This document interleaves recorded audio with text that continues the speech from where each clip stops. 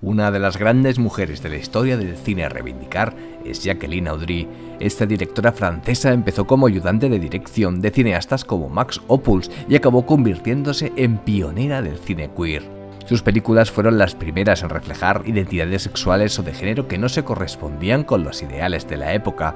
En este sentido, su obra maestra fue Olivia, una adaptación de la novela de Dorothy Bussey, que fue todo un escándalo. El film fue censurado en Estados Unidos y Reino Unido por mostrar claramente una relación lésbica entre sus protagonistas. Toda una muestra del activismo que Audrey llevaba en las venas y que la llevó a incluir en sus películas temáticas muy avanzadas para su época. Realizó 19 muchas de ellas inspiradas en novelas escritas por mujeres, algunas con tanto éxito como Gigi, que logró 3 millones de espectadores. En 1963 fue la primera realizadora miembro del jurado del Festival de Cine de Cannes.